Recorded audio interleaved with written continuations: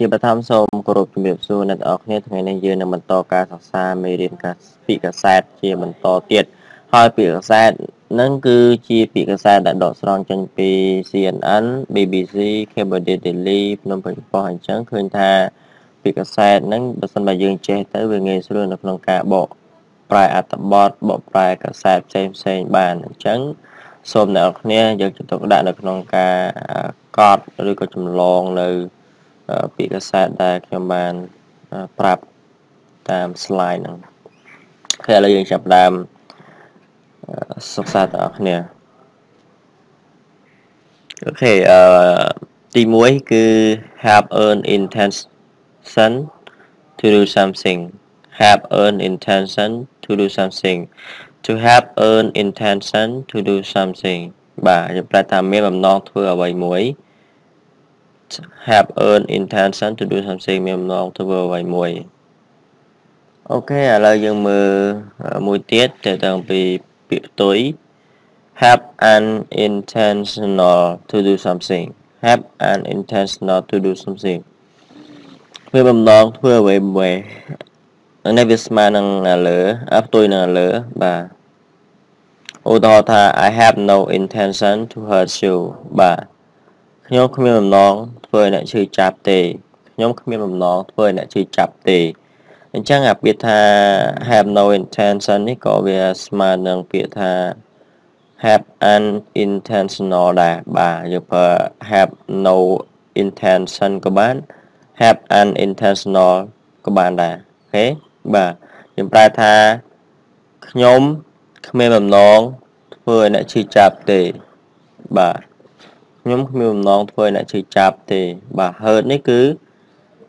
ធ្វើឲ្យនរណាម្នាក់ឈឺចាប់ទេមួយទៀត have no choice alternative to do something គ្មានជំរើសធ្វើអ្វីមួយ have no choice have no choice ឬក៏ have no alternative alternative alternative have no choice បាទ have no choice to do something គ្មានជំរើស ធ្វើអ្វីមួយឬក៏យើងប្រែម្យ៉ាងទៀតថាគ្មានផ្លូវជ្រើសរើសបាទដើម្បីធ្វើអ្វីមួយគ្មានផ្លូវជ្រើសរើសឥឡូវយើងមកមើលឧទាហរណ៍ I have no choice to accept his proposal ខ្ញុំគ្មាន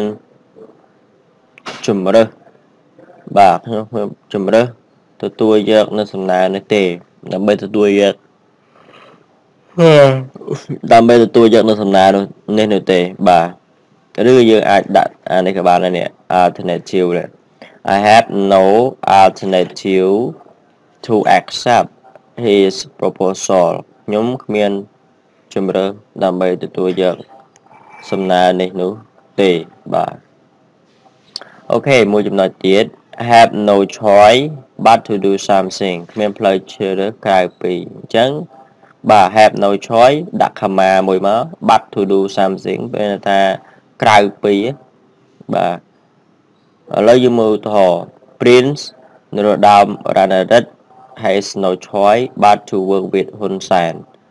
សម្ដេចក្រមព្រះបាទ Prince នរោត្តមរណរដ្ឋនេះគឺសម្ដេចក្រមព្រះឬក៏សម្ដេចនរោត្តមរណរដ្ឋគ្មានជំរើសក្រៅពីធ្វើការអូខេ but to to work គឺមានតែ but to do something នេះសំណងប្រយោគយើង ក្រៅពីធ្វើអ្វីមួយអញ្ចឹងក្រៅពីធ្វើការ OK បាទ but to work with ហ៊ុនសែនក្រៅពីធ្វើការជាមួយនឹងលោកនាយករដ្ឋមន្ត្រីហ៊ុនសែនអូខេមួយទៀត to toward toward up បាទ to ward off avert បាទ avert avoid avoid evade evade បាទបូកជាមួយនឹង the military attack the military attack បញ្ជាការវាយប្រហារដោយប្រើកម្លាំងយោធា បញ្ជាការវាយប្រហារដោយប្រើកម្លាំងយោធាបាទ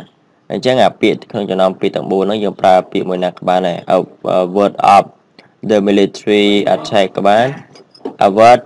the military attack ក៏បាន avoid the military attack ក៏បានឬក៏ evade the military attack យើងប្រែថាបញ្ជៀសការវាយប្រហារ ដោយប្រើកម្លាំងយោធា OK បាទទៅមកទៀតឧទាហរណ៍ how can we evade the military attack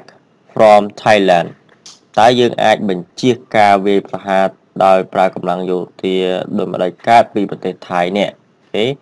evade the military attack បញ្ជៀសការវាយប្រហារដោយប្រើកម្លាំងយោធាបាទអូខេមួយចំណុចទៀត to demand earn in to do something ទៀមទាបញ្ចប់ចំនួនអូខេ demand earn in to do something ទៀមទាបញ្ចប់ចំនួនបាទឧទាហរណ៍ for example they demand an end to their dispute បាទ dispute peacefully ពួកគេទៀមទាបញ្ចប់ចំនួនរបស់ពួកគេដោយសន្តិភាពបាទពួកគេទៀមទាបញ្ ចប់ចំនួនរបស់ពួកគេដោយសន្តិភាពអូខេបាទមួយទៀត back to back ឬក៏ពាក្យថា support បូកជាមួយនឹង trials for somebody គ្រប់ត្រូវឲ្យកាត់ទោសនរណាម្នាក់អូខេយើងប្រើ back trial for somebody ក៏បាន support trial for somebody ក៏បានគ្រប់ត្រូវឲ្យកាត់ទោសនរណាម្នាក់បាទ ឧទាហរណ៍ Most Cambodian people support trial for Khmer rule leaders ភាគច្រើននៃប្រជាជនកម្ពុជាគ្រប់ត្រូវឲ្យកាត់ទោសអូខេ support trial គេមិនមែនគ្រប់ត្រូវឲ្យកាត់ទោសអូខេឲ្យកាត់ទោសមេដឹកនាំខ្មែរក្រហមបាទហើយមួយទៀត have yet to do something have yet to do something នេះយើងប្រែថាមិនទាន់បានធ្វើអ្វីមួយ OK មិនទាន់បានធ្វើអ្វីមួយ have yet to do something have yet to do something ឧទាហរណ៍ I have had yet to decide what to do next ខ្ញុំមិនទាន់បានសម្រេចចិត្ត OK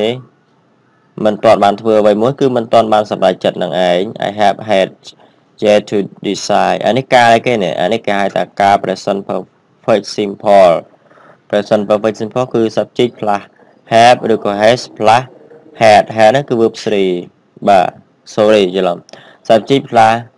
have or has plus verb 3បាទអញ្ចឹងនេះចូលទម្រង់ present perfect ហើយ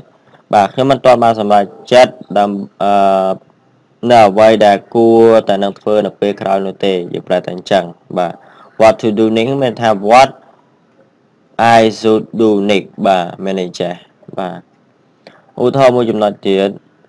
meet somebody for talks យើងប្រែថាជួបពិភាក្សាការងារជាមួយនរណាម្នាក់អីចឹងណាបាទ meet somebody for talk ជួបពិភាក្សាការងារជាមួយនរណាម្នាក់ឧទាហរណ៍ My leaders have made seem for talk several rounds but no solution បាទមេដឹកនាំខ្មែរហ្នឹងបានជួបពិភាក្សាការងារជាមួយអស់ ជាច្រើនដងប៉ុន្តែ បាទជួយភាគការងារជាមួយនឹងសៀមប្រទេសសៀមហ្នឹងអស់ជាច្រើនលើកហើយប៉ុន្តែនៅតែមិនមានដំណោះស្រាយបាទ no solution ប៉ុន្តែគ្មានដំណោះស្រាយបាទអូខេមួយទៀត make somebody disappointed ឬក៏ make somebody hopeless ឬក៏ let somebody down បាទយើងប្រើក្នុងចំណោម3ហ្នឹង ប្រើមួយណាក៏បានដែរមានអត្ថន័យថាធ្វើឲ្យនរណាម្នាក់អស់សង្ឃឹមធ្វើឲ្យនរណាម្នាក់អស់សង្ឃឹមបាទ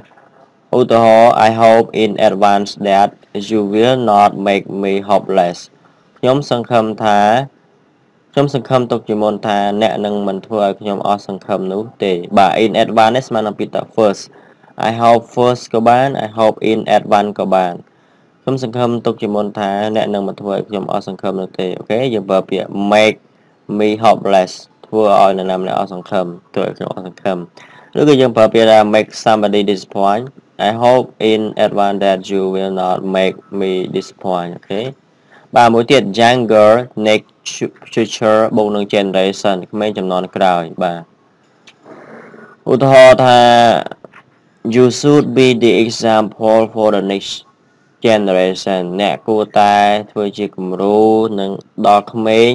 ចំនួនក្រោយ next generation បែរថាក្មេងចំនួនក្រោយឬក៏ future generation ក៏បាន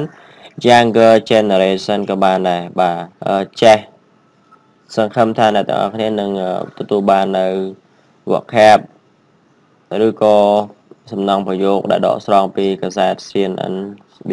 BBC Cambodia Daily ភ្នំពេញរបស់ហ្នឹង អឺបានមួយចំនួនបាទអញ្ចឹងសូមអ្នកនរគ្នាជួយចុច subscribe ជួយ share និងជួយ like វីដេអូនេះផងបាទសូមអរគុណនិងជម្រាបលា